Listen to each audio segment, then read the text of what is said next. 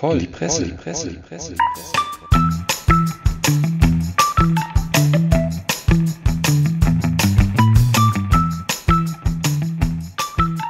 Herzlich willkommen zu einer weiteren Ausgabe unseres schönen Podcasts Voll in die Presse. Heute in der Drei-Mann-Besetzung mit Karl-Heinz Ballermann, der nachdenklich in seine Unterlagen vertieft ist. Schön, dass ich hier bin. Einsatz verpasst. Und im Homeoffice Adwide der Jute Sammer. Was? Ist, musst du sagen. Du wirst ja immer, wirst ja immer wortkarger. Was was, ist? was ist denn da los bei dir? Herrje, herrje. Vielleicht, weil wir gerade schon so mitten in die Diskussion eingestiegen sind, kann ich mal auf die Diskussion auf der Homepage zu diesem Podcast hinweisen, www.benanza.de. Wer die nicht kennt, weil sie vielleicht auch nicht überall mitgeschickt wird in die Kanäle, schaut einfach mal rein. Da gibt es immer noch ausführlichere Shownotes, Fotos, Getränkebeschreibung und gelegentlich auch Kommentare von den Mitstreitern Was hier sind denn oder Shownotes? Was Shownotes. Das, du bist in der Pod, du bist Podcaster und weißt nicht, was Shownotes das? sind. Nee, sag mal. Ja, am Endeffekt ist das einfach nur der Artikel, den wir immer dazu schreiben. Ja, aber da, wir sprechen ja hier die Szene an. Also Shownotes oder eben einfach ein Artikel, Achso. wo wir dann die Fotos hochladen, die wir von, den, von dem Gesaufe machen und so weiter. Und eben auch eine Diskussion möglich machen. Und zur letzten Folge hatte sich da eine kleine Diskussion mit dem mit dem Ruhrpott-Mädel und den Mitstreitern aus diesem Bus ergeben, die wir an dieser Stelle, nicht die Mitstreiter, sondern das Ruhrpott-Mädel grüßen, weil sie im Krankenhaus liegt und ihr gute Besserung wünschen. Wir müssen ja unsere beiden, ja, gute Besserung. unsere beiden Fans hier hegen und pflegen. Ja, gute Besserung. Und vielleicht habt ihr auch einfach Lust, mal in solche Diskussionen einzusteigen. Würde uns freuen, so ein bisschen Feedback zu bekommen. Ja, aber, nur wenn ihr nicht widersprecht, ne? Also Ja. wir wollen da jetzt eigentlich nur Lo großes Lob. Wir hatten Ja. noch eine Liste gemacht, was wir hören wollten. Großes Lob, äh, Anerkennung. Ja, ich glaube, das ist auch aus Nordkorea. Gibt es auch so ein Handbuch, was man sich dazu Rate ziehen kann. Nein, nein, vö- völlig falsch. Also sorry, den Ballermann, dem müsst ihr richtig Feuer geben. Ihr dürft da auch mal so ein bisschen beleidigend und ausfallend werden. Also bitte da richtig Feuer in die Ja, aber Kommentare. Beleidigungen sind beim Ballermann Komplimente. Ja, das feuert richtig. den ja nur an. Ja. Du musst, du musst dem, eigentlich musst du den loben und sagen, was für ein toller Kerl er ist. Dann denkt er über sein eigenes Handeln viel mehr nach. Dann be begreife ich das als Ironie. Das ist das Schlimmste. Dann komme ich ins Zweifeln. Ja, genau. Ja. Aber vielleicht, damit die Leute was zu diskutieren haben, können wir ja auch mal ein, ein bisschen was hier vom Stapel lassen. Das finde ich auch. Und ich hätte auch einen Punkt, der, der ist mir wichtig. Äh, Ich glaube, da könnte man auch gut eine Diskussion dann aufmachen. Erstmal, sag mal, wie geht's dem Knie? Dem Knie. Ja. Ja, meinen, Knie, in meinen Knien geht's gut. Jedenfalls besser als deinem Kopf. Wirst du wieder fit? Glaubst du, du wirst irgendwann jemals nochmal wieder auf dem Platz stehen? Immer so auf dem Platz stehen, ja, da braucht man ja kein Knie für. Der Kaiser, der stand auch 90 in Rom auf dem Platz und war der Größte. Also, Na gut. Vergleichst du dich jetzt mit Kaiser Franz, Kaiser Sammer. ja, ja, sicher. Ballermann, worauf willst du hinaus? Ja, genau. Worauf willst du hinaus, du Vogel? Ja, äh, auf die Diskussion, ob der Sammer jemals wieder auf den Platz kommt mit seinem Knie. Das können wir doch mal diskutieren. Da versteht ihr aber wieder nicht. Doch, der Sammer, der Sammer, also der Namensgeber, der hat ja dieselbe Knieverletzung tatsächlich wie ich. Ja. Nämlich Infektion im Knie nach Kreuzbandriss. In diesem Sinne schönen Gruß an Matthias Sammer aus unserem Podcast. Du kannst auch gern bei uns im Bus mitmachen. Aber der hat, glaube ich, eine bessere Versicherung gehabt, die ihn gegen Berufsunfähigkeit absichert als ich. Also ähm, hat mich aber damals tatsächlich, als ich im Krankenhaus lag mit dem äh, Mann, irgendwie habe ich mich verbunden gefühlt, weil ich gelesen hatte, dass er genau denselben Scheiß erlebt hat. Einfach so eine OP im Krankenhaus, alles schief gelaufen und dann Sportinvalide. Aber selbst ich habe seitdem schon hin und wieder mal wieder unvernünftigerweise auf dem Platz gestanden, ja, und so ein bisschen rumge rumgehinkt. Ja, und du hast es in den Benanza-Bus geschafft, der, der Matthias Sammer noch nicht. Ja, aber er ist, wie gesagt, er ist herzlich eingeladen, die Türen sind offen. Auch jetzt, falls ihr Vogelzwitschern hört, weil es hier so warm ist, ist eine Schiebetür auf. Vielleicht kommt ja wieder lustiger Besuch vorbei. Lothar Matthäus. Vielleicht kommt Lothar Matthäus vorbei. Das war doch ein großer Held von dir. Nee, nee, der Karl-Heinz Karl Rummenigge. Karl-Heinz Rummenigge war ein großer Held. Ja, wenn der vorbeikommt, das wäre. Wollen wir mal rufen? Karl-Heinz! Nee. Er hört mich nicht. Nee, nee. Sag mal, was hast du denn da vielleicht irgendwie für uns mal äh, pressemäßig am Start? Ja, pressemäßig. Ich kann gerne, ich kann gerne den Anfang machen. Also ich habe heute am Start ähm, eine ähm, Geschichte normaler, normaler, normalen Umfangs, normaler Länge. Und ich habe auch wieder mindestens zwei schöne ähm, kurze Meldungen, die ich ja immer gerne bringe. Pass auf, ich, ich mache dir mal einen Vorschlag. Fang mal mit einer kurzen Meldung an. Aber nicht die, aber äh, sag mal, nicht die Meldung von der 113-jährigen Frau, äh, ältesten Frau Spaniens, die jetzt Corona auch überwunden hat, von der Maria Branjas, ne? die auch, die, die auch den, den spanischen Bürgerkrieg und auch die spanische Grippe überlebt hat 1918. Nicht, dass du mit diesem komischen Positivgesäusel um die Ecke kommst. So, das habe ich jetzt schon mal gleich mal vorab gestellt. Das alte Blessun aus das Spanien. alte Blessun aus Spanien, die Maria Baranjas, Branjas, ne? So stand sie mich in der FAZ. Du meinst die, die über dein Heimatdorf mit dem Heißluftballon geflogen ist und diese komischen Anordnungen unten auf dem Boden gesehen hat bei dir im Garten? Ja, nee ich, glaub, nee, ich glaube, bei der war äh, 36 eher die Legion Condor äh, äh, am Himmel zu sehen.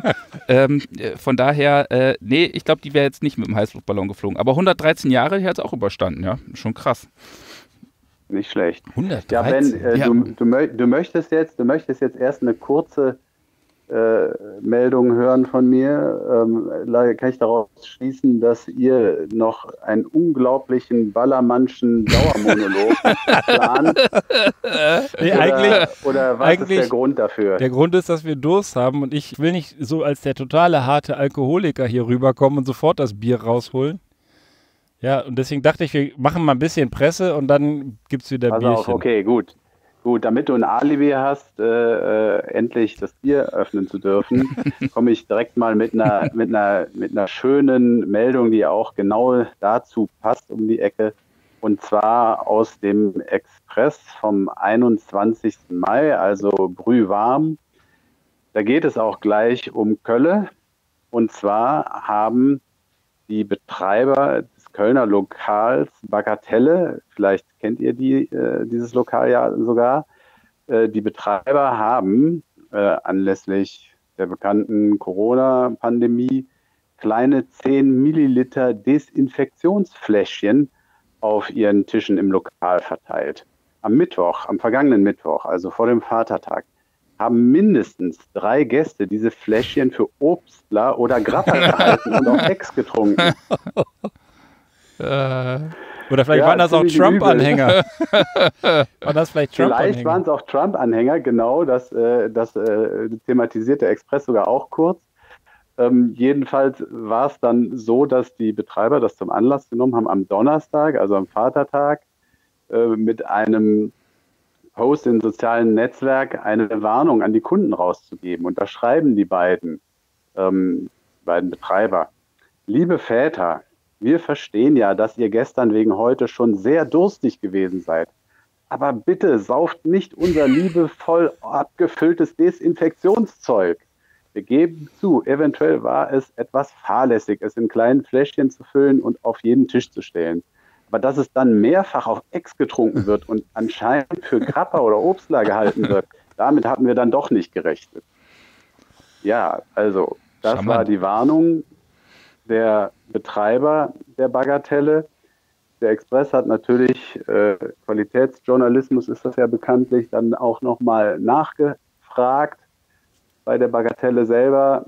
Äh, und ich weiß nicht, ob Herr oder Frau Rabe dann zum Express sagte, ja, es stimmt, getrunken wurde es je in Ehrenfeld und Sülz. Ich weiß von dreien. Und äh, sie, es wird aber auch gleich Entwarnung gegeben, den Kunden sei nichts passiert. Sie hätten sich nicht übergeben müssen und hätten normal weitergetrunken. Das ist nochmal auch das, das Wichtigste. Das Wichtigste. Und äh, damit das künftig nicht mehr passiert, haben die äh, Betreiber nun einen Aufkleber kreiert, der auf die kleinen Fläschchen kommt, wo drauf steht Bagatelle Desinfektion. Aber, aber sorry, steht, da, steht das da drauf? Weil wenn ich in der Kneipe bin, ja. ich, ich würde das glatt auch für ein, erst recht jetzt wahrscheinlich, für, ein, für einen kurzen halten, dass einer sagt so, hier, geiles Desinfektionsmittel, schön hart gebrannten auf dem Tisch. Ja, bei mir müsste man auch aufpassen mit den Blumenvasen. Da kann man immer froh sein, wenn da was Blumen drin stehen, sonst wäre das auch weg. Ja. Ja, gut. Überall, wo eine Flüssigkeit ja, drin ist. Aber das ist, glaube ich, nicht ganz so schädlich, auch wenn es eklig ist, wie äh, so, ein, so ein Desinfektionsmittel. Aber sag mal, das wäre doch cool, wenn du daraus jetzt einen Schnaps machst. Dann, dann schreibst du. Genau. Ne? Deswegen glaube ich, wenn da steht Bagatelle, was eine bekannte ja. Kneipe ist, Desinfektion würde ich sofort denken, ja, so wie, wie äh, keine Ahnung, krabbel die Wandenuff oder, ja. oder äh, küss den Frosch oder wie die Dinger alle heißen. Hier, wie heißt das denn? kleiner Frosch. Feigling, das meine ich so, kleiner Feigling. Da sind ja auch keine kleinen Feiglinge drin. Und, ähm, oder, Echt ne? ja, ja. ja, ich, ich höre schon, ich höre schon, ihr würdet euch eher aufgefordert ja. fühlen das dann erst recht weg. Durch den Aufkleber, also wenn ich, ich würde nichts saufen, wo gar nichts drauf ist, weil ich es nicht weiß. Das ist doch auch so eine Art äh, medizinisches Produkt, das könntest du doch auch hier wieder zur Verköstigung anbieten. So wie, so wie Schleimlöser ja, und dann einfach mal so ein.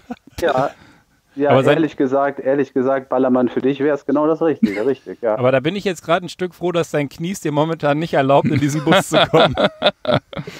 ja, ich denke mir, denk mir für euch noch was Feines aus. Aber jetzt könnt ihr dann ja, denke ich mal, das war ja jetzt dann der Alibi-Beitrag. Äh, Nein, überhaupt nicht. Erste, Sag mal, das, ich ähm, muss dir leider sagen, das, das war gar kein Alibi-Beitrag. Das hat mir sehr gut gefallen. Da hast du einen sehr schönen Beitrag rausgesucht. Ja, der, der hat mir auch sehr gut gefallen, deswegen habe ich ja ausgesucht. Aber so. ihr könnt dann jetzt endlich euer Bier öffnen. Ja. Oder was auch immer ihr da habt. Ja, und das zwar, das werde, ich, das werde ich erzählen. Und vielleicht, wenn du was zu trinken hast, kannst du das auch gerne erzählen, was du hast, weil wir haben ja gesagt, dass wir das verkommt hier so zu so einer reinen Begleiterscheinung, das äh, Aufreißen vom Bier und Wegschütten. Wir hatten ja eigentlich auch immer gesagt, dass wir auch ein bisschen was dazu erzählen wollen. Deswegen habe ich mir mal das äh, hier hingedruckt, was wir, was wir hier haben. Also das erste, wir sind jetzt mal weg vom Mai und nach Asien geht es dieses Mal, zumindest für mich. So, können wir direkt aus der Flasche machen. Du kannst aber mhm. auch einen Becher haben. Also ich verrate das, noch nicht, was draufsteht. Ja, ich verrate es aber gerne. Das ist eine grüne Flasche und da sind meine Lieblingstiere drauf. Äh, Würmer. Zwei, zwei Elefanten. Und jetzt frage ich euch, das ist ein Bier aus Thailand mit zwei Elefanten drauf.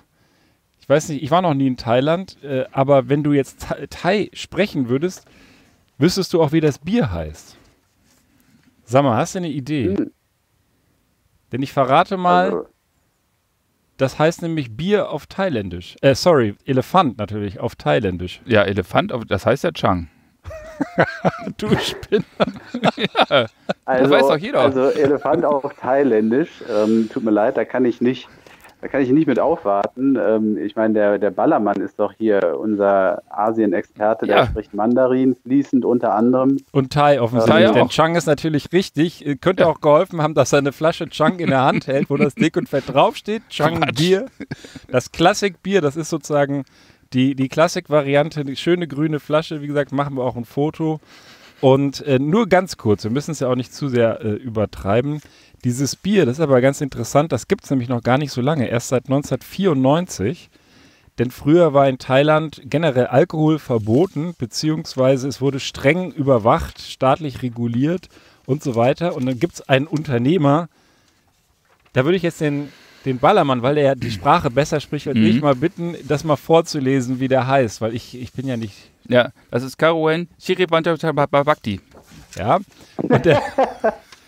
der Shirivanban Hanbakti, dem gehörten elf Thai-Whisky-Brennereien und der war zufällig auch der Chef von allen zwölf staatlichen Distillerien. Und als er 19, als 1991 der Markt da in Thailand liberalisiert wurde, hat er eine, ein Joint Venture mit Carlsberg äh, gemacht.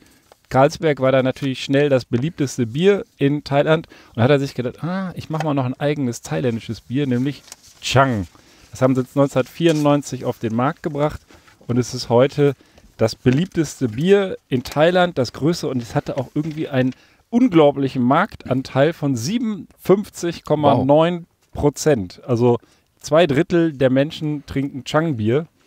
Carlsberg ist nur noch auf 1,6. Die sind dann irgendwann auch aus dem Joint Venture ausgestiegen. Also der, dieser besagte Unternehmer ist echt ein cleverer Typ der nicht nur den, die Distillerien hat, sondern auch das Bier richtig gut Super. vermarktet hat. Und damit wir jetzt mal wissen, wie das schmecken, wie das schmecken tut, schmecken tut ne? stoßen wir mal an. Prösterchen. Prost.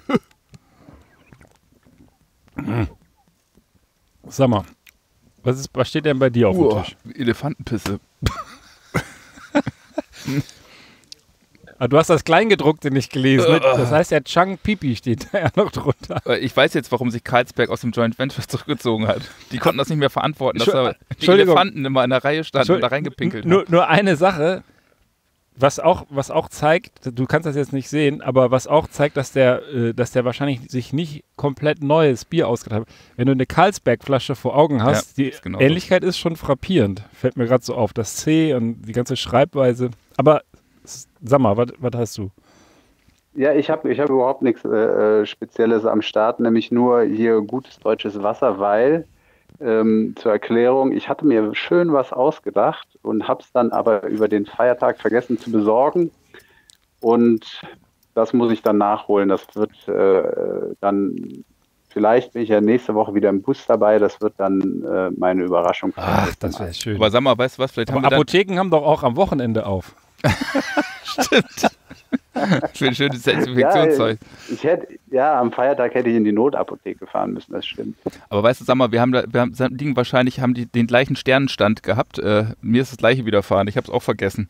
Und ich habe es auch alles, ich habe es aber schon gekauft gehabt. Also bei mir äh, liegen schon wieder schöne Köstlichkeiten im Kühlschrank, aber. Und weil ich das wusste, habe ich gedacht, das ist die ideale Möglichkeit, die Elefantenpisse loszuwerden, die ich hier seit Wochen durch, durch die Gegend fahre, weil das hier immer im Bus deponiert ist, das Bier. Aber sei es drum. Das hat jetzt also auch die richtige Temperatur. Nee, das, ach, das ist ganz das okay. okay. Das ist jetzt nicht eiskalt, aber der Bus wird nachts kalt und ich habe das immer hier unten unter dem Rücksitz und da bleibt das eigentlich ganz gut kühl. Und ich würde das gerne mal zum Anlass nehmen, direkt in die Tierwelt einzusteigen, denn was äh, Insider höchstens wissen, aber die meisten Leute nicht, Elefanten, Chunks für uns Thailänder, sind meine absoluten Lieblingstiere. Für viele andere Menschen sind allerdings Katzen die Lieblingstiere, mit denen ich finde die schön, sehen schön aus, aber ich kann mit Katzen nichts anfangen. Ich bin Hundemensch. Ne? Hund hat ein Härchen, Katze hat einen Diener. Deswegen Katzen sehen gut aus, aber ich finde sie machen mich jetzt nicht an. Aber ich möchte keinem Katzenfreund da irgendwie zu nahe treten, denn es gibt offensichtlich echt viele. Ihr erinnert euch doch bestimmt als das mit äh, YouTube so richtig losging, war doch mal eine ganze Zeit lang wahnsinnig in Katzenvideos. Ich habe es nie verstanden. Die wurden geklickt wie Sau. Und Leute fanden es geil, und ich glaube auch heute noch, gucken sich einfach gerne Katzenvideos an, wo Katzen irgendwo einen Baum hochspringen oder ich weiß es nicht, ich habe sie nie groß geguckt. Vielleicht auch rammelnde Katzen, um mal die Geste von Herrn Ballermann hier zu erklären. Aber ich glaube auch ganz normale Katzen, die nicht da gerade auf der Pirsch waren. Nach den Katzenvideos gab es dann mal so eine Phase, da haben sich Leute aus so einer bestimmten Perspektive ihre Katze vors Gesicht gehalten. Das waren dann so diese Katzenbärte. Das war dann, waren dann immer so Fotos, die gingen dann so in die sozialen Medien, wo dann der, dieser etwas äh, spitz zulaufende Katzenkopf aussah wie ein Bart von, von der Person, die dahinter war, de deren Augen und Nase nur zu sehen war. Und jetzt im Zuge der Corona-Zeit, weiß ich nicht, die Leute ist langweilig, gibt es einen neuen Trend. Und zwar, Menschen gehen jetzt hin, Technik schreitet fort und photoshoppen den Kopf ihrer Katzen auf Bienenkörper. da gibt es also zig Fotos hier auch in diesem Beitrag aus meinem äh, absolut neuen Lieblingsmagazin Deine Tierwelt Magazin. Da habe ich letztens schon mal was zugebracht. Ich glaube zu dem Hundehalsband, ja. was sich anschimpft. Richtig. Und das geht auch gleich so los. Na, überkommt dich mal wieder die Corona-Langeweile? Für ein bisschen Beschäftigung sorgt derzeit ein kurioser Trend in den sozialen Medien. Menschen basteln mit Photoshop den Kopf ihrer Katze auf Bienen. Und dann zeigen die hier so die, die lustigsten Ergebnisse. Da ist jetzt eigentlich gar nicht wahnsinnig viel mehr mit verbunden, außer dass es echt lustige Fotos sind. Ich zeige das mal dem Ballermann. Also ich mhm. meine, wie, wie kommen Leute da drauf, so ein Bienenkörper? Also Bienen haben ja schon so ein, dunkle, so ein dunkles Gesicht. Und das sind ja auch überwiegend schwarze Katzen, die dann genommen werden und einfach auf Bienenhinterteile drauf, drauf montiert werden. Und das sieht auch ganz lustig aus, aber nee, das sieht nicht lustig da wäre ich, wär ich nicht auf die Idee gekommen. Aber ich finde, es sieht irgendwie, ja, es sieht irgendwie spooky aus. Oder spooky, ja, aber das ist, deswegen dachte ich, also diese, diese Internet-Trends, die haben wir ja immer mal wieder hier in dem Podcast und ich mag es auch gerne, die mal äh, hier zu besprechen, weil mich das dann, weil ich mich dann immer wieder frage, wozu braucht man das? Und was, was ist überhaupt die Affinität zu Katzen? Ich frage mich ehrlich gesagt auch, äh, ähm, wieso hat so etwas das Zeug zum Internet-Trend?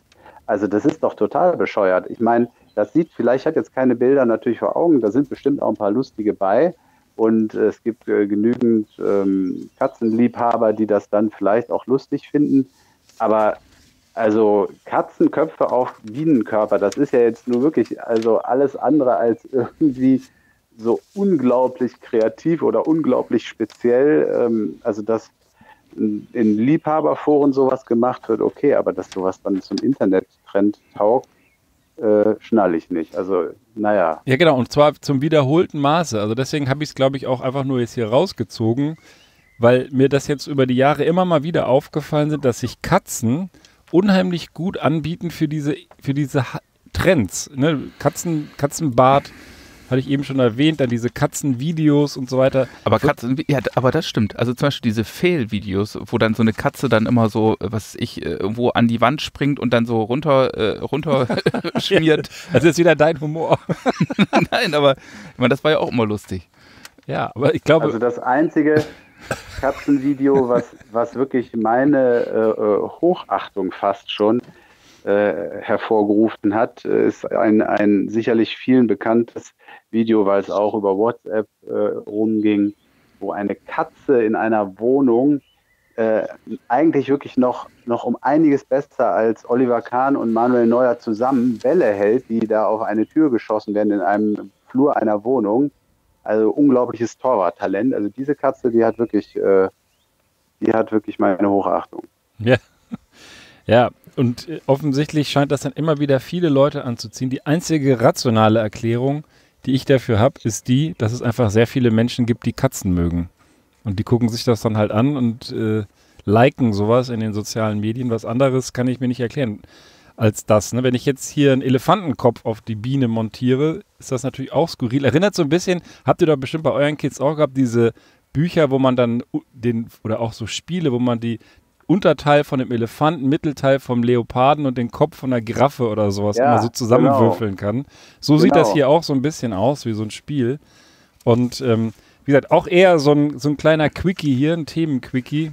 Komplett bescheuert, muss ich mal zu mal sagen. Ja. Komplett. Ja.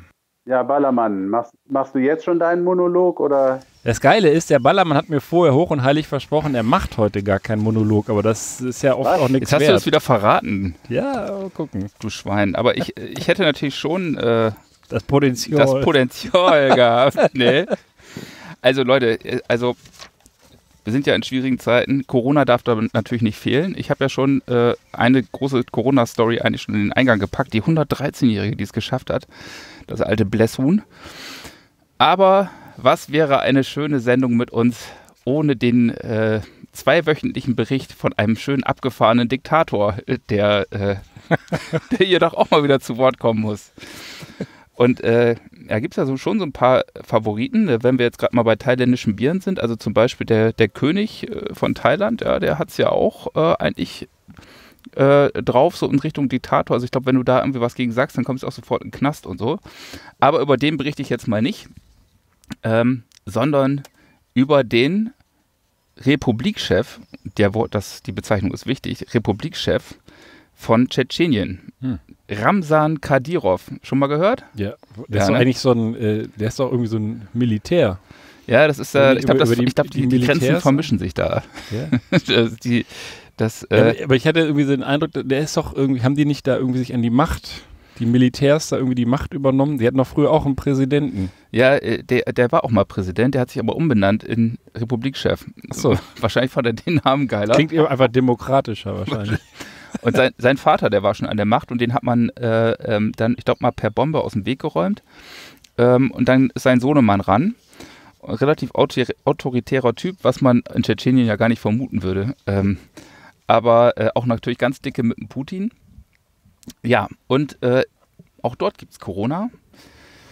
Und äh, da hat dann mal die Invest einzige, einige der wenigen äh, ähm, investigativen russischen Zeitungen hat da mal nachgeforscht, die Novaya Gazeta, ich glaube, das ist auch ein Begriff, und äh, hat versucht, mal einen Bericht zu bringen über die Lage Corona-Kranker in Tschetschenien. Und die russische Staatsanwaltschaft hat diesen Artikel geblockt, also durfte sie nicht veröffentlichen. Und zwar, was war der Grund? Äh, der wurde eigentlich gar nicht genannt. Und zwar enthalte nämlich die Darstellung zweifelhafte, aber für die Gesellschaft wichtige Informationen, die für das Leben und die Gesundheit von Bürgern und öffentliche Ordnung eine Bedrohung ist. Weshalb auch immer. Aber wie gesagt, keiner weiß, was, äh, was inhaltlich der Grund war. Jedenfalls soll was war das jetzt für eine Mel Was war das jetzt für eine Meldung? Wen hast du da gerade zitiert? Also das war jetzt gerade die russische Staatsanwaltschaft, die, die eben ah, diesen ja, okay. Artikel äh, unterbunden hat, der Novaya Gazeta. Und äh, übrigens der Artikel, äh, den ich hier ähm, behandle, der ist aus der Frankfurter Allgemein vom 17.04. allerdings schon. Dort dann wird dann weiter ausgeführt, ähm, dass die Lage von äh, in Tschetschenien ein Corona-Erkrankter oder vielleicht auch nur in Quarantäne äh, sich befindlicher Person nicht gerade zum Zuckerschlecken ist, weil nämlich dieser Regimechef äh, Ramsan Kadyrov Corona-infizierte oder sagt, dass Corona-infizierte Menschen wie Terroristen zu behandeln sind. Das hört sich jetzt schon mal wirklich äh, krass an. Das ist also so eine richtige ähm, Kriminalisierung dieser, dieser, Infekt, äh, dieser, dieser infizierten Menschen. Und äh, es ist, wird dann hier auch berichtet von Massenverhaftungen äh, von, von Tschetschenen, die eben die Selbstisolation, also eine Quarantäne-Vorschrift äh, äh, nicht beachten. Und Ganz schlimm wird es halt, wenn du äh, meldest, dass du irgendwelche Krankheitssymptome hast. Und deswegen ist auch die allgemeine Devise, niemals was den Behörden sagen, lieber sterben. das ist, also äh, die würden sich niemals irgendwie äh, da, dazu öffentlich äh, bekennen. Da so muss es aber wohl mal einen Fall gegeben haben, wo es dann relativ klar ist, dass der Corona hat. Und ich vermute, das war auch ein, ein Politiker, aber es ist nicht ganz klar. Und zwar hat dann aber der Sprecher des tschetschenischen Parlaments Magomed Daudov äh, in einer Klinik angerufen. Und zwar hat er dann äh, die, die Ärzte angewiesen, seit das Telefon einem Patienten Abdullah Garayev äh, zu geben und der wurde dann per Telefon vom Parlamentspräsidenten verhört und hat dann letztendlich resümiert, der Garayev, also kurz dieser Patient, habe nicht ein Gramm Gewissen, weil er eben Corona hat. Ja, das ist schon, äh, naja, auf jeden Fall ist in dem Land auch alles dicht und äh, äh, sogar, die haben sogar Notaufnahmen und so weiter geschlossen und sind überhaupt nicht Lage, in der Lage, damit umzugehen. Und deswegen könnte es ein gewisses Interesse geben daran, vermute ich mal, äh, das nicht offenkundig werden zu lassen. Mhm.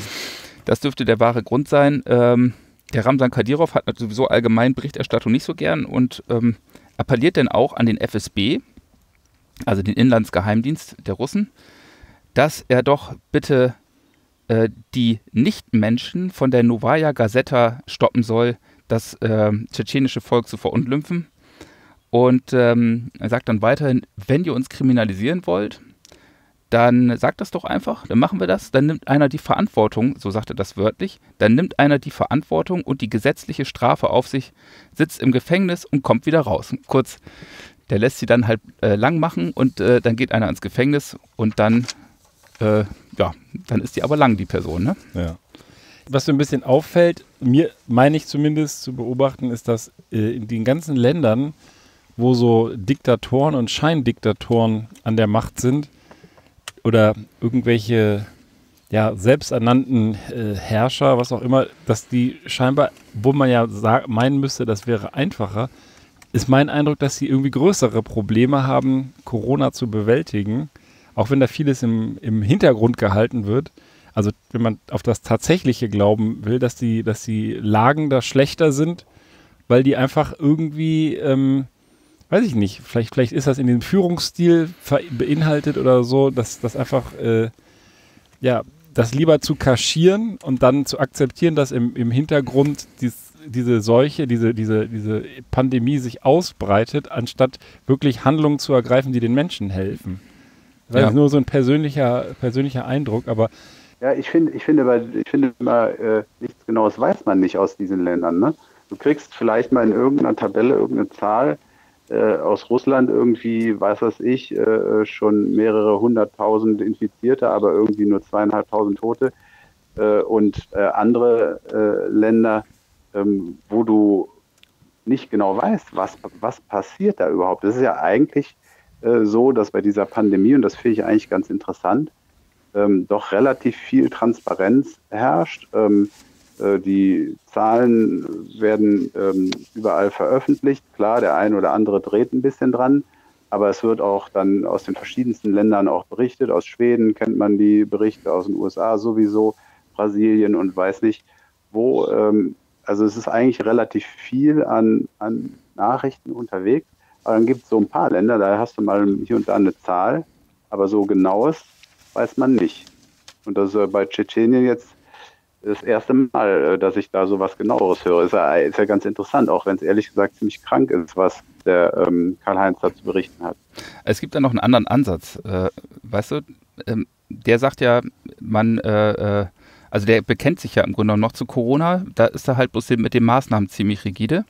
Es gibt aber auch einen ganz anderen Ansatz von meinem anderen äh, großen Lieblingsdiktator, nämlich von Kennt ihr den noch? Usbekistan. Nee, aus Turkmenistan. Turkmenistan. Könnt ihr den Namen noch? Wisst ihr noch ungefähr? Nee, den kriege ich jetzt nicht hin. Nee, okay. Gurbanguly Berdimuhamedov. Unser alter Freund, der Tausendsasser, Messerwerfer, Fahrradfahrer, alles, der kann doch alles. So, was hat der gemacht? Ja, der hat einfach schlicht das Wort Corona aus der Öffentlichkeit verbannt. Da äh, darfst du das Wort Corona äh, überhaupt nicht verwenden. Also äh, zum Beispiel in Gesundheitsbroschüren wird dann geschwiemelt über Leiden oder akute Erkrankungen der Atemwege. Aber definitiv nicht Corona. Und wenn du das äh, wagen solltest, an einer Busstation oder sonst wo in der Öffentlichkeit zu sagen, dann wirst du ratzfatz weggesperrt so hat man dann natürlich ganz leicht auch mal null Corona-Fälle. Das macht die Sache natürlich ganz schön einfach. Wenn auch im Grunde, im Grunde genommen die ganze äh, Hauptstadt abgeriegelt ist, alle Geschäfte dicht haben und sonst was. Also das ist da schon auch so. Aber es wird halt nicht drüber gesprochen. Und man ja. muss auch dazu sagen, er ist, scheint immun zu sein. Für ihn gelten keine, äh, keine Beschränkungen natürlich. Äh, und zeigt sich überall. Neulich zum Beispiel hat er dann in einer Moschee wieder Gedichte aus Eigenproduktion vorgetragen. Der Tausendsasser. Der Tausendsasser. Und demonstrierte körperliche Nähe, indem er alten Männern die Hand schüttelte. Äh, schüttelte. Ja, ich meine, gute alte Männer, die sind ja auch am wenigsten betroffen äh, von Corona. Und dann hat er auch noch dieser Moschee noch ein Van geschenkt. Äh, und, äh, und zwar, aber natürlich hat er da sehr aufgepasst, der hat das nämlich vorher desinfizieren lassen. Und zwar mit dem Rauch einer angezündeten Wunderpflanze. Also da kann dann eigentlich auch wirklich nichts passieren. Die er selber aber natürlich gezüchtet hat. Wahrscheinlich. So, und jetzt noch die Frage, welch, das steht hier nicht, aber welche Farbe darf denn der Van nicht haben? Weiß. War, war, war irgendwas mit weiß. Mhm. Oder war es schwarz? Schwarz. Schwarz, genau. Also alles, also der hat, der war wahrscheinlich weiß, weil der, der, das war doch so der Typ, der alles in weiß der, der haben hat, wollte. Der hat, nee, ja, und der, der hat auf jeden Fall schwarze Autos verboten. Es, da, es gibt also in der ganzen, ich weiß gar nicht, ob es eine Republik ist, Turkmenistan kein schwarzes Auto, weil er das ja verboten hatte. Der Gurbanguly Berdi Muhamedov. Ne? So. Großartiger Typ, ja. Ja, ich sag's dir. Das ist echt, über den sollte man, ich meine, das hat er auch schon mal gemacht, so eine Reality-Sendung über sein eigenes Leben das wäre doch eigentlich cool, wenn man mal einfach so, so, so einen Typen begleitet. Ich glaube, es hat hohe Einschaltquoten in Deutschland. Ich, ich finde, wir sollten hier in der, in der Sendung so, ein, so eine Rubrik einführen, Ballermanns Despoten. Da kann er dann immer über deine Lieblingsdiktatoren und sonstigen Schinder und Schänder berichten. weil ich warte auch immer noch jede Woche darauf, dass du über das äh, eigentlich konsequenteste aller Corona-Bekämpfungsprogramme aus Nordkorea berichtest, wo Leute bei ersten Anzeichen dem Vernehmen nach einfach erschossen werden. Das müsste dir doch ja, sehr zusagen. Richtig. Das sagt mir ja nicht zu. Ja, richtig. Ich, äh, mir sagt ja nicht das, das Prozedere zu. Sondern mir, sagt, äh, mir sagen ja nur die Geschichten darüber zu. Weil das so kranke Typen sind. Bist du nicht alleine in dieser ja, Welt? Ja, Nord Nordkorea hattest du tatsächlich noch nicht auf der Agenda, ne? Richtig. Ja. Ja, ja, ich weiß. Ich, ich, arbeite mich so langsam ab. Das ist auf dieser Welt äh, habe ich sicherlich noch ein paar äh, Folgen, wo ich äh, gut was befüllen könnte, bevor ich zu Nordkorea komme. Also, liebe Zuhörer, freut euch auf eine neue Episode von Ballermanns Despoten in der nächsten Ausgabe von Voll in die Jetzt hast du auch was versprochen. Jetzt müsst ihr aber auch mit ran. Ich meine, ihr seid ja auch mit in der Ausgabe. Wir können natürlich gerne mal ein Diktatoren-Special machen. Ja. ne? Ja. Aber dann aktuelle, nicht irgendwie so, nicht, dass so einer mit Kublai Khan kommt oder sowas. Obwohl der Name schon gut ist, aber. ja. ja. Nee, das ist ein Diktatoren-Special. Das wäre ja etwas, was man jetzt vielleicht mal in den Show Notes diskutieren könnte. Ah, ob ein also, Diktatoren-Special von unserer Fanbase gewünscht wird oder nicht. Also für die Zuhörer Show, äh, Show Notes sind, das muss man einfach wissen, das sind die Erläuterungen äh, bei dem Podcast selbst, also so auf der da, textliche Darstellung auf der Webseite. Das ist wirklich ganz, auch weiß, weiß man ja. Ballermann, du kennst dich so gut aus. Ja. Toll. Wie heißt das denn auf Thai eigentlich? Äh, Chang Quang Kang. Okay. Noch Mandarin? Das, so, bevor, bevor es jetzt zu ausfallend wird, hast du noch einen kleinen Quickie Summer, oder willst du deine große Story abfeuern? Mal los.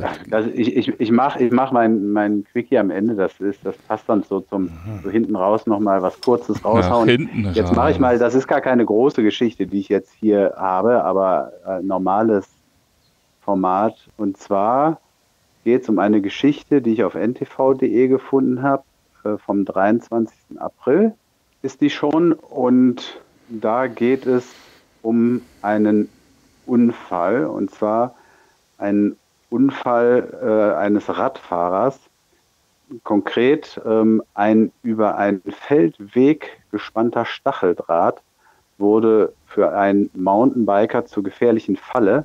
Und das hat dann einen jahrelangen Rechtsstreit, Zivilrechtsstreit ähm, nach sich gezogen, den ich jetzt hier mal ähm, in aller Kürze darstellen möchte anhand dieses Artikels. Ähm, und zwar der frühere Marineoffizier aus Rostock. Und zwar heißt er Christian Tiffert. Den kenne ich. Der war Fußballer. Ja, denn der Name ist äh, auch der eines Fußballers, das stimmt, aber das ist eine zufällige Namensgleichheit. Dem war jedenfalls 2012 schon, also schon acht Jahre her, bei Hamburg auf einer Tour mit dem Mountainbike ein über einen Feldweg gespannter Stacheldraht zum Verhängnis geworden. Beim Bremsen stürzte er kopfüber in die Absperrung. Seither ist der 43-Jährige vom Hals abwärts gelähmt. Ah. Also eine wirklich üble Geschichte. Und im Zuge dessen kam es dann, wie gesagt, zu diesem Gerichtsverfahren, über das ich jetzt erzähle. Also, also ganz kurz nur zum, zum Verständnis, mein Lieber. Der ja? Stacheldraht, den hatten irgendwelche Scherzkekse da einmal quer über die Straße gespannt. Ne? Das war jetzt, das war jetzt. Nee, das, kommt, das kommt jetzt, das kommt jetzt noch, wie, da, wie das dazu kam. Ähm, nämlich Ende der 80er Jahre wurde diese Sperre ähm, errichtet und die sollte eine Ruhezone für Wild schaffen. Ähm, deshalb sind auch die, die Pächter mit in diesem Gerichtsverfahren mit drin und auch die Gemeinde ähm, hatte der Errichtung zugestimmt. Bei der Gemeinde heißt, handelt es sich übrigens um die Gemeinde Prag mit Doppel-A, äh, Kreis Stormarn in Schleswig-Holstein. Ich weiß nicht, ob hier unser norddeutscher Karl-Heinz Ballermann ähm, das vielleicht kennt, aber wahrscheinlich auch nicht. Habe ich jedenfalls noch nie von gehört. Ein früherer Jagdpächter hatte erst einmal zur Sicherung an Latten in der Mitte des Wegs ein Durchfahrtverbotenschild für Autos befestigt. Und rechts und links wurden aber dann auch noch diese Stacheldrähte gespannt. Und das ahnte der Mountainbiker nicht. Und als es dann zu dem Unfall kam, wurde der erst zwei Stunden später mit gebrochenen Halswirbeln gefunden. Ähm, er forderte dann in einem Rechtsstreit 500.000 Euro Außerdem ging es auch um lebenslange Kosten, denn der ist ja, wie gesagt, gelähmt und dauerhaft hochgradig pflegebedürftig und wird rund um die Uhr von einem Assistententeam betreut. Also es geht um richtig viel Geld. Und natürlich nicht nur viel Geld, sondern das Geld ist ja auch dafür da, eben, dass der äh, noch irgendwie ein würdiges äh, Leben im Rahmen seiner Möglichkeiten führen kann. Und jetzt war es so, dass das OLG Schleswig-Holstein, also Oberlandesgericht 2017, zwar davon ausgegangen war, dass die Gemeinde und die Pächter Pflichten verletzt hätten. Sie hätten mit Radfahrern da rechnen müssen. Aber trotzdem hat der Christian Tiffert nur 25 Prozent der geforderten Summe zugesprochen bekommen. Denn er sei zu schnell gefahren und habe sein neues Rad nicht richtig beherrscht. Was ist damit gemeint? Damit ist gemeint, es war wohl so, dass es, wie gesagt, ein neues Fahrrad gewesen, was der sich da angeschafft hatte. Und ähm, die Bremsen, man kennt das ja vielleicht auch selber, ne? An neuen Radbremsen, das ist immer so ein bisschen tückisch. Die können auch schon mal heftig ähm, funktionieren, sodass es einen auch vom Rad schmeißen kann. Und äh, das wurde ihm dann da vorgehalten. So, und dann ist das Ganze aber jetzt zum BGH gegangen. Jetzt möchte ich mal hier äh, euch zwei Wahnsinnige da fragen, denen natürlich jedes Rechtsgefühl total abgeht. Ähm, was glaubt ihr denn? Was hat der BGH zu dieser Geschichte gesagt. Ähm, der hat, er, also der Christian Tiffert, der wollte natürlich jetzt äh, mehr als nur die 25 Prozent. Ja, also er musste sich ja dann im Prinzip zu 75 Prozent sagen lassen, hey, du bist selbst schuld, du bist zu schnell gefahren. Und außerdem hast du dich mit deinem eigenen Rad nicht ausgekriegt. Da stand ja ein Schild Durchfahrt verboten. Und ähm, mhm. galt das nur für Autos oder galt das auch für Fahrräder? Also das wäre für mich mal die erste Frage. Laut Text ist das ein Durchfahrtverboten-Schild für Autos. Also mit dem Fahrrad hätte man theoretisch durchfahren dürfen. Gehen wir jetzt mal von aus, weil hätte er da gar nicht durchfahren dürfen, dann äh, ist das ja zumindest auch ein Teil mit Schuld, wenn er da verbotswidrig in irgendeine so Straße rein donnern will. Aber gehen wir mal von aus, er hätte da reinfahren dürfen. Genau, nach dem Text müssen wir davon ausgehen, da steht, dass das für Autos war. Ja. Ja, was meint er? Also das, das, das riecht so ein bisschen nach so einem salomonischen Urteil äh, für meine Begriffe. Weil ich meine, äh, da ist dann zumindest die Haupt, die Haupt, so wie ich das verstanden habe, der Hauptweg war eigentlich gesperrt, bloß an den Seiten hätte er vorbeigekonnt und da wurde dann Stacheldraht äh, gespannt. Was definitiv, glaube ich, auch eine ja. ganz eine relativ krasse Nummer ist, äh, weil äh, auch wenn du da zum Beispiel als Sehbehinderter oder so das langläufst, dann kannst du dich ja auch im Stacheldraht verhängen. Also äh, aber äh, vielleicht angesichts dessen der, der, der, der Auswirkungen, die dieser Unfall hatte, würde ich mal tippen, dass die, dass die, dass die Richter vielleicht auch so ein kleines bisschen wohlwollender für den, für den Geschädigten geurteilt haben und würde das Verhältnis jetzt umdrehen, dass er 75 Prozent bekommt und äh, 75, 25 Prozent äh, mit Schuld trägt, mit Verschulden. Ja, Karl-Heinz Ballermann, Mensch, das hätte ich ja gar nicht zugetraut. Damit bist du schon echt äh, ziemlich gut und äh, du, vielleicht sollst du beim BGH mal deine Unterlagen einreichen. Ja, die haben mich da völlig verkannt. Jedenfalls, die wollten mich nicht. ja, Lag am Namen. Richter Ballermann. Jedenfalls, die, die BGH-Richter, die BGH-Richter sagten, ein Hindernis, also ne, man muss sich das so vorstellen, glaube ich, das Schild steht in der Mitte des Weges. Also wie, wie so eine, also ich stelle mir so, einen, so einen Weg halt so einspurig vor, ne? Und in, mitten in der Mitte ein Schild, das ist ja auch nicht allzu breit, so ein Schild. Das heißt, da ist schon noch Platz rechts und links eigentlich, wenn da nicht gerade Stacheldraht wäre. So, und äh, jetzt sage ich mal äh, gerade, was der BGH gesagt hat, ein Hindernis wie der Stacheldraht sei völlig ungewöhnlich und objektiv geradezu als tückisch anzusehen, sodass ein Fahrradfahrer hiermit nicht rechnen muss. Das OLG könne ihm auch nicht vorwerfen, dass sich das Rad nur überschlagen habe, weil er mit dessen Bremsverhalten noch nicht gut genug vertraut gewesen sei. Er habe keine Zeit zum Überlegen gehabt und aus verständlichem Erschrecken objektiv falsch reagiert. So, und jetzt ist es nämlich in der Tat so, dass er mindestens 75 Prozent der Summe bekommt. Ähm, ein gewisser Abzug, die restlichen 25 Prozent, darüber muss das OLG Schleswig-Holstein nochmal verhandeln, weil ähm, der äh, wohl in Klickpedalen unterwegs war, ähm, was äh, wohl auf so einem Waldweg jetzt nicht unbedingt angezeigt ist. Und das ist aber wohl ein Aspekt, der anscheinend in der äh, Verhandlung bisher noch nicht so richtig aufgeklärt wurde, der dann vom OLG nochmal aufgeklärt werden muss und entschieden werden muss. Jedenfalls ist der, der Kläger, der Christian Tiffert, ist sehr erleichtert. Der wird hier jetzt noch zitiert, er prozessiere seit fast acht Jahren. Bisher hätten die Gerichte die Schuld immer vor allem bei ihm gesehen. Da kommt man schon ins Verzweifeln. Jetzt gäbe es einfach die Aussage, du hättest daran nichts ändern können. Da fällt eine Riesenlast ab. Ja, und das kann ich echt gut verstehen. Ähm, also man muss sich das mal vorstellen äh, mit einer einzigen Aktion. Ja, das sind ja so diese, diese Momente, ne? Irgendwie im Straßenverkehr, auf so einem Waldweg, wo auch immer eine Kleinigkeit geht schief und dein ganzes Leben mhm. ist von heute mhm. auf morgen komplett verändert, komplett, vielleicht kann man auch sagen, im Eimer. Ähm, und dann sitzt du da und ähm, da macht es, glaube ich, schon einen Unterschied, ob du äh, ähm, da sitzt und dir die ganze Zeit vorhalten lassen musst, wenn es auch hier juristisch ist und jetzt vielleicht nicht moralisch, dass du selber schuld bist oder ähm, ja. ob die äh, Leute dir sagen, hör mal Jung, du konntest da nichts für. Es ist gut, mach dir keine Vorwürfe. Ganz im Gegenteil, da müssen andere dir sogar äh, äh, noch finanziell unter die Arme greifen, dass du jetzt dein Leben bewältigt kriegst. Ja. Mhm. Nee, das stimmt.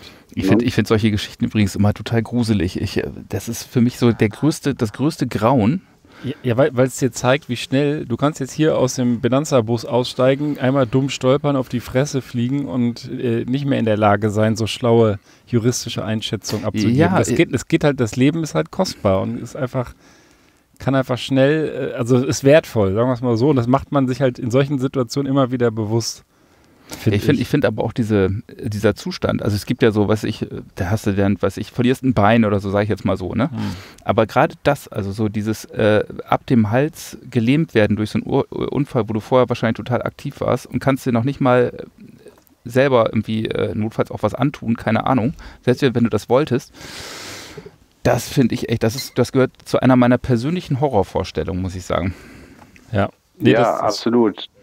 Und es ist halt so ein Bruchteil einer Sekunde, ne? Eine, eine falsche Entscheidung, dann ist das passiert. Genau, genau. Und, und, wenn, und wenn man mal ehrlich ist, ja, vielleicht, wenn jeder mal, äh, also zumindest, wenn man schon so ein paar Jährchen hier auf dem Planeten rumrennt, wenn jeder mal in seinem eigenen Leben so ein bisschen zurückdenkt, ich wette, jeder findet mal irgendwo mhm. einen Moment, wo es hätte schiefgehen können, wo man wirklich im Nachhinein gedacht hat, das hätte jetzt es auch sein können. Ne? Ähm, Hast du solche Momente wirklich vor Augen? Weil meine Tochter hat mich lustigerweise gestern gefragt, Papa, gab es schon mal Momente in deinem Leben, wo du fast gestorben wärst?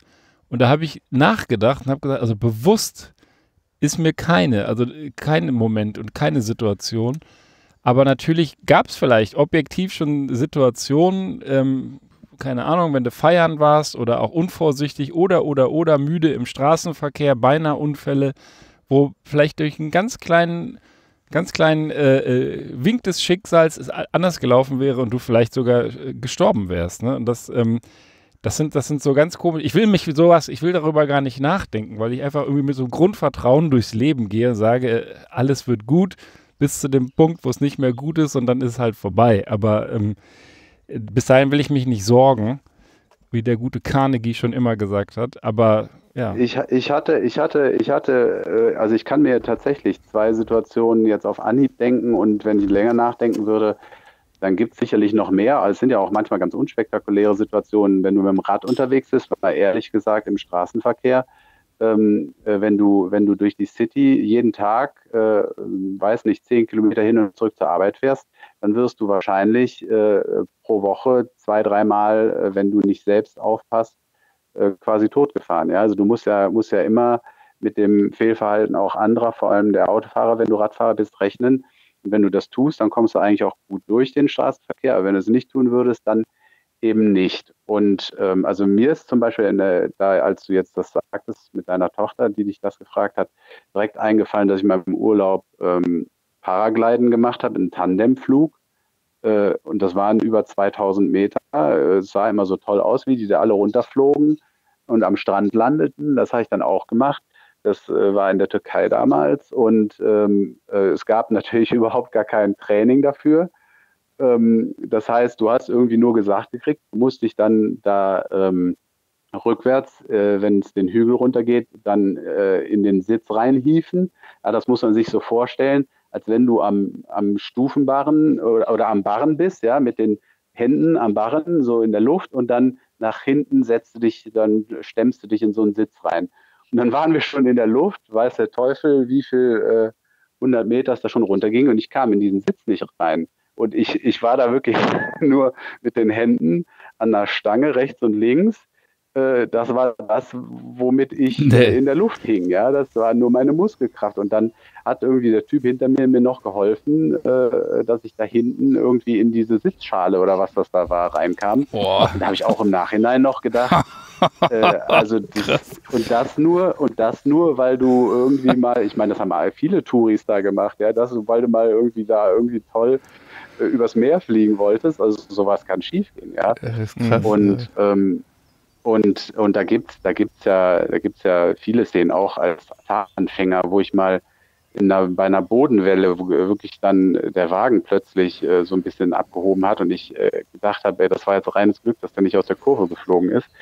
Also es gibt, es gibt, es gibt schon Situationen, ne? Und, ja. und ähm, insofern, das ist eine ganz üble Geschichte hier mit dem mit dem Christian Tiffert.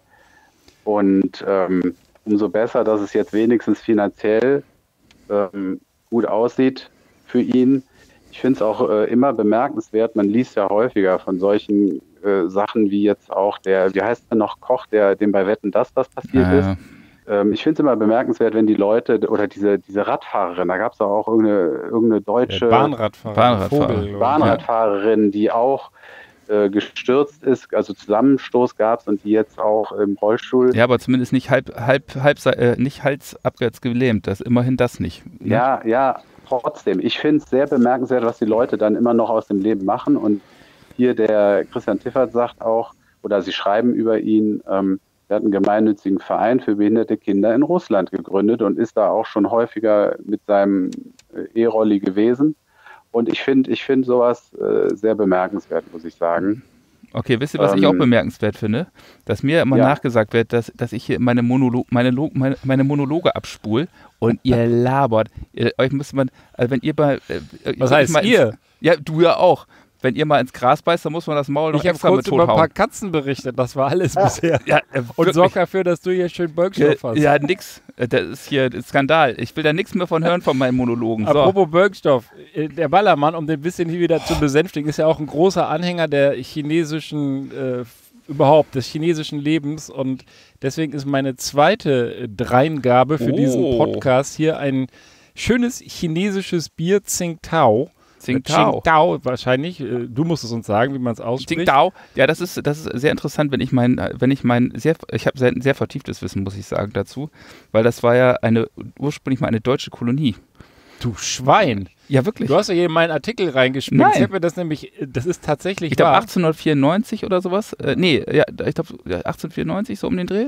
Die Bis Kolonie auf jeden Fall 1914. Ja, die wurde auf jeden Fall 1914 im November von den Japanern erobert im Ersten Weltkrieg. Und äh, ja. Das ist alles wahr. Alles wahr. Und 1903 haben sie dann in dieser damals noch deutschen Kolonialstadt Tsingtao ähm, die Brauerei Tsingtao gegründet. Die wird ein bisschen anders wahrscheinlich ausgesprochen und heute zählt Tsingtao, also über 100 Jahre später, zu den größten Brauereien weltweit. Ist unter den Ui. Top 10 in der ganzen Welt und ist eine von zwei großen chinesischen Brauereien. Wenn du jetzt richtig gut bist, weißt du auch noch, wie die andere heißt. Ich weiß es nämlich nicht. Äh, nee, muss ich zugeben. Ja. Trinkt immer nur Tsingtao, das ist ja dann, ne? Ja, und zwar die Straßenzüge dieser Stadt. Die wurden nämlich geschaffen nach dem Schachbrettmustervorbild von Wilhelmshaven meiner geliebten Heimatstadt. Ah, da ja. wird ein Schuh draus. Ja, ja. Und ist, ich kann euch sagen, äh, das schreit eigentlich wieder nach einer neuen Berichtsserie. Also da kann man auch wirklich in die Tiefe einsteigen. es gab nämlich mal einen Skandal von, äh, von, äh, der, von nicht Bediensteten der Stadt, auch Bediensteten, aber auch gewählten Vertretern der Stadt Wilhelmshaven, die dann nämlich zum äh, extra nach Tsingtao geflogen sind, nach China, äh, bestimmt auch nicht Bretterklasse, um sich dort die Straßenlaternen anzuschauen. Weil da könnte man ja sozusagen im Sinne von Wilhelmshaven als Ursprungsstadt und dort Tsingtao die gleichen Straßenlaternen haben. Ja. Ne? Das ist geil, oder? Und diese Brauerei Tsingtao, die wurde aber, weil das ja deutsch besetzt war oder deutsche Kolonie war, als Germania Brauerei gegründet und ist dann eben in Tsingtao Brewery Co. Limited umgetauft worden. Und ja, ist schon altes Bier, aber das hier ist noch haltbar. Also nicht wie deine Geschichten, so das müsste zumindest noch haltbar sein. Schöne Idee, Ben. Ja. Zum Wohl, sag mal, für solche Dinge muss man halt ja, im Bus kommen, Prost. ne? Prost. Mm. Auch eine grüne Flasche, rotes Label, lauter chinesische Schriftzeichen, Tsingtao Premium Lager. Und das war es dazu. Und um meinen kleinen Asien-Exkurs, den ich für heute hier vorbereitet habe, kein Monolog, weil ich habe nur ganz kurze Geschichten, abzurunden, gehen wir jetzt noch einmal nach Südkorea. Auch in Südkorea wird ja Fußball gespielt, vielleicht nicht so gut, aber es wird Fußball gespielt. Es hat gereicht, um die Deutschen aus der WM zu kicken, vielleicht doch ganz gut.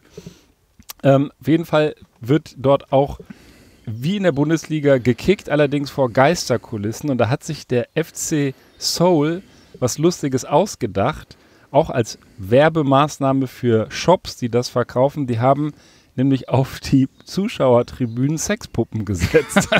Schön mit Mundschutz natürlich an, sind aber Sexpuppen, die dann auch so kleine Werbeschilder teilweise cool. anhaben, die dann für die Shops werben, wo man diese Sexpuppen Cooles kaufen Bild. kann. Das wäre auch mal wert, da tiefer einzusteigen, denn soweit ich weiß, sind ja diese Sexpuppen Puppen, die total lebensecht aussehen, in, in asiatischen äh, im asiatischen Raum total beliebt. Also gerade von Japan weiß ich es, dass manche Leute wirklich mit so einer Puppe leben und eine Beziehung führen. Und, ähm, Nein, ernsthaft? Ja, das, ja, das gibt's wirklich. Das gibt's wirklich. Also die sehen aber auch schweineecht aus und sind, wie sie sich anfühlen, kann ich jetzt nicht sagen, aber sie sehen sehr, sehr echt aus, sind auch sehr teuer. Und das Lustige bei diesem ultra kurzen Artikel ist eigentlich ein Kommentar, über den berichtet wird, denn ähm, das hat natürlich große Wellen geschlagen in den sozialen Netzwerken und dort hat wohl einer ein Kommentator geschrieben, bei dem Interesse an unseren Geisterspielen dachte ich eigentlich, dass das Niveau des koreanischen Fußballs unser größtes Problem sei.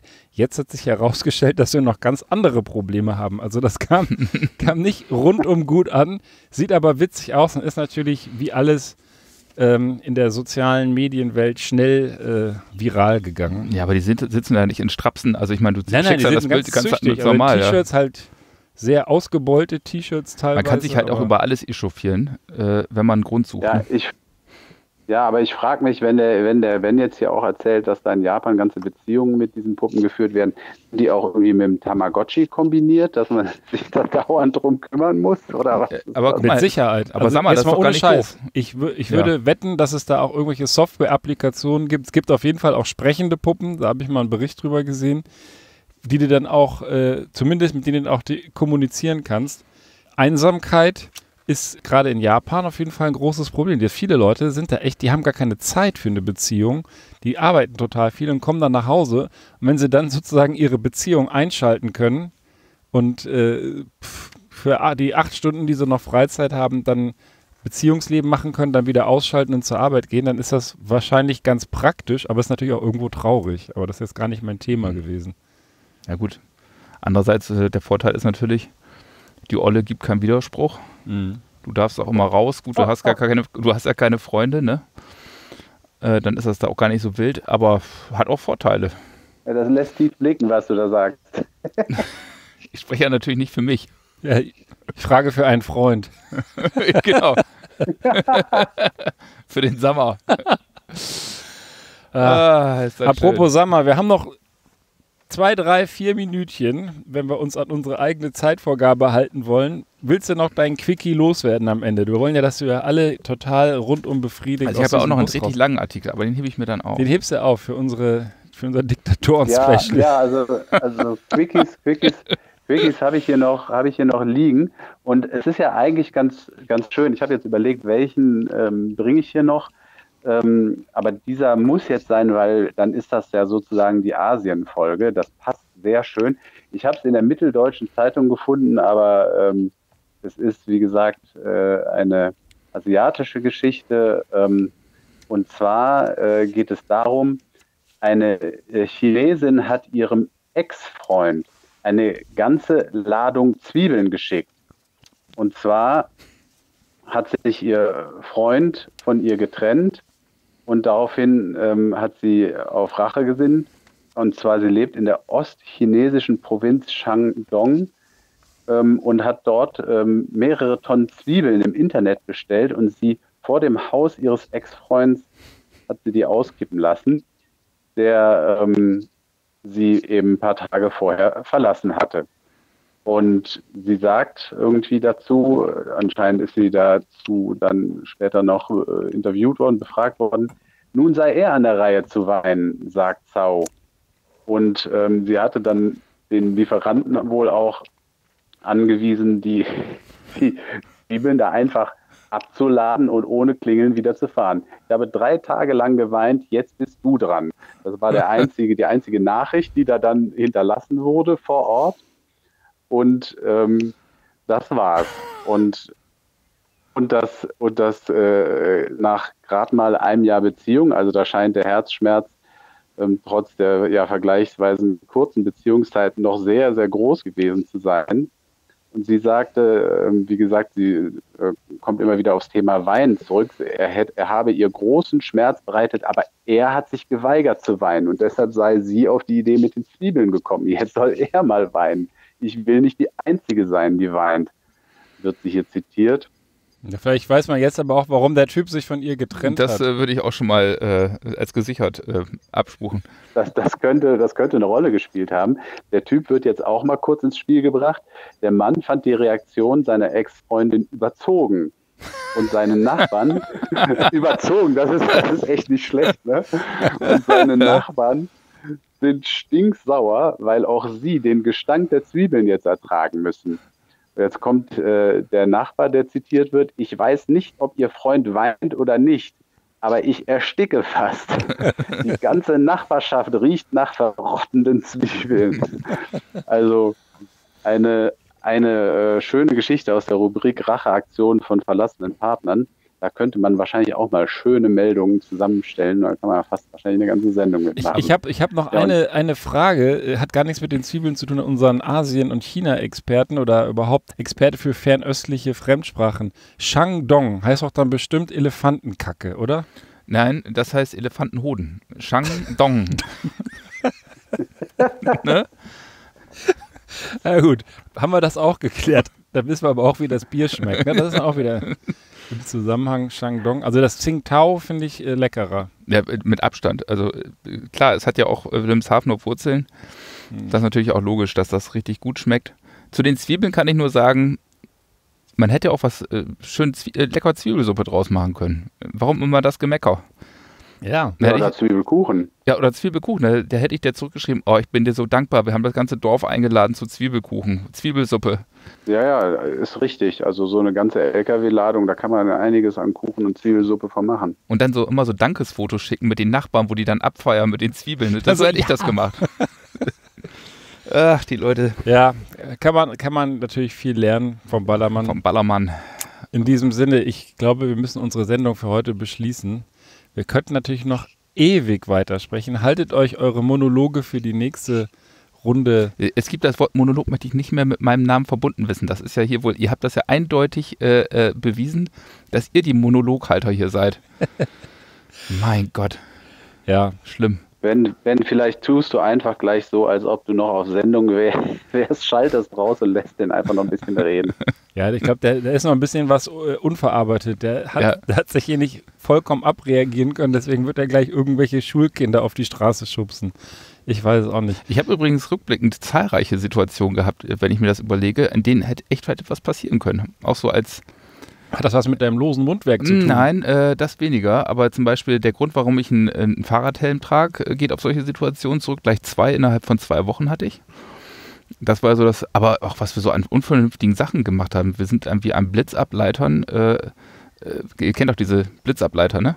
Da sind wir dann hochgeklettert, irgendwie so, weiß ich, so 15 Meter Gebäude nur an diesem Ding da. Äh, totaler Wahnsinn. Mhm. Das ist echt, äh, echt krass. Ja, wir sind auch von, wir sind von irgendwelchen äh, Klippen oder sonst wo springt man ja auch gerne mal in irgendwelche Gewässer. Und die Eltern haben zwar immer gesagt, das soll man nicht machen. Bis in der Rheinaue, da gibt es eine Brücke und da muss ich immer dran denken, wenn ich da vorbeikomme. Da ist auch mal vor 20, 25 Jahren irgendeiner von so einer Brücke in die Rheinaue reingesprungen. Da hatten dummerweise halt andere Jugendliche wahrscheinlich einen Einkaufswagen im Wasser versenkt. Die ist ja auch nicht gerade tief uh. und der ist dann da ganz übel aufgeschlagen, auch querschnittgelähmt. Stand damals auch irgendwie in der Zeitung und seitdem habe ich dann tatsächlich gedacht, uh, ja. Ne, auch so eine, eine, also im, im Suff oder in dem jugendlichen Leichtsinn, was man da schon für mhm. schwachsinnige Ideen hatte, um, um dann sich da, was weiß ich, was zu beweisen, das stimmt schon. Aber ganz konkret, Todes, Todessituation, dass ich dachte, jetzt bin ich fast gestorben, hatte ich jetzt, habe ich jetzt zumindest nicht vor Augen. Nee. Aber es könnte sein, dass das gleich kommt, wenn wir jetzt noch sehr viel mehr hier weiterquatschen müssen. Deswegen. Ja. Ich habe auch jetzt keinen Bock mehr. Leute, macht euch ein schönes Wochenende. Ja. Ne? Sag mal, genau. wir grüßen noch, das hat wahrscheinlich keiner gemerkt, aber der Prolo Ferrari war gar nicht da. Den, Prolo! Den, möchte ich auch noch gerne grüßen. Ja, ja, genau. Ah, ja, Prolo. genau. Schöne Grüße an den Prolo, der heute nicht da ist. Der hat wahrscheinlich gestern so Gas gegeben. Ja, gut, Name verpflichtet. Ja, dann lasst euch nochmal das Reisbier schmecken. Ja, und äh, gehabt, gehabt euch alle wohl auch ihr Zuhörer, ihr Lieben. Bis dahin. Tschüss. Tschüssing.